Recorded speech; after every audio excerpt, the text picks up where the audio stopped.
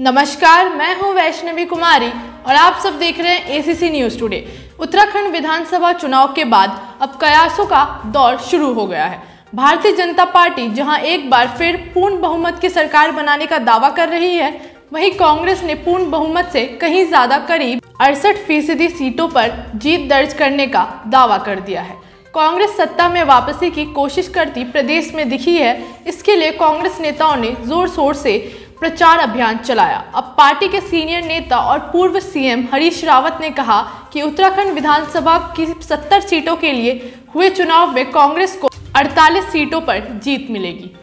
इस सवाल का सही जवाब तो भारत का निर्वाचन आयोग ईसीआई 10 मार्च को उत्तर प्रदेश, पंजाब, उत्तराखंड, गोवा और मणिपुर विधानसभा चुनाव के परिणाम घोषित करेगा।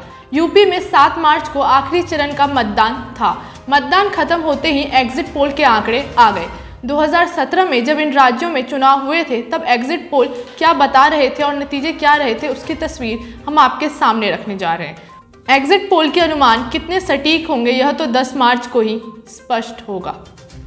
उत्तराखंड में एक ट्रेंड रहा है। इस पहाड़ी राज्य में हर बार सरकार अदलती बदलती रहती है। पिछले चुनाव में भारतीय जनता पार्टी ने प्रचंड बहुमत के साथ सरकार बनाई थी।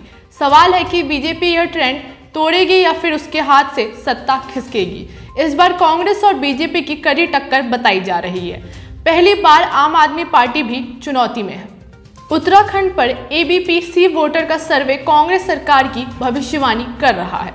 एग्जिट पोल में कांग्रेस को 32 से 38 सीटें मिलने का अनुमान है, जबकि बीजेपी को 26 से 32 सीटें। आम आदमी पार्टी उतना प्रभाव नहीं छोड़ पाएगी, एग्जिट पोल यही बता रहा है। टाइम्स नाउ वीटो के एग्जिट पोल में उत्तराखंड के भीतर हंग अंसेबेली की स्थिति बनने का अनुमान है।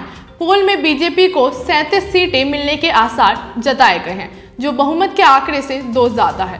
कांग्रेस को इकतीस सीटें मिलेंगी, ऐसा अनुमान लगाया गया है।